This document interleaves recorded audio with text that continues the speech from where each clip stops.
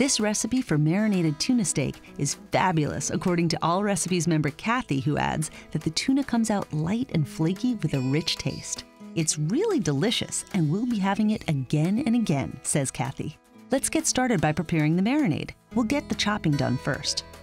Finely chop enough fresh parsley to make about two tablespoons.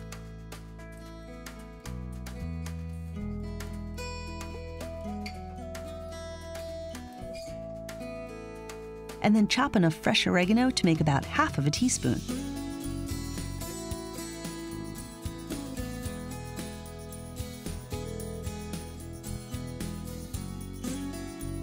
Then mince one clove of garlic.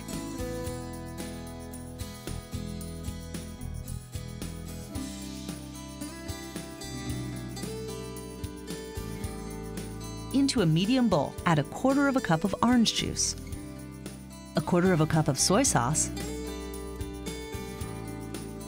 two tablespoons of olive oil,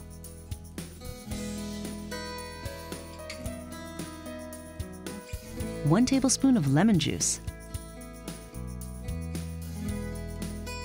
half of a teaspoon of ground black pepper,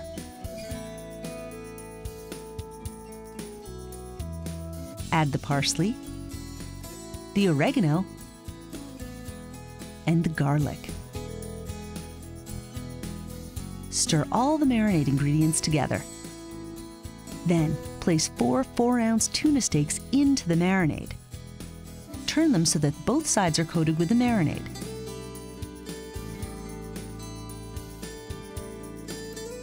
Cover the dish and place it in the refrigerator for 30 minutes.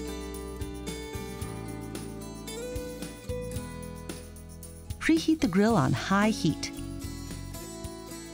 and lightly oil the grill grate. Place the tuna steaks on the grill and cook them for 5 to 6 minutes. turn the steaks and baste them with the marinade. Then cook them for an additional five minutes or until they're done to your liking. You can discard any remaining marinade or take Kathy's suggestion and pour the remaining marinade into a saucepan and simmer it until it's thick and rich, then pour it over the grilled tuna.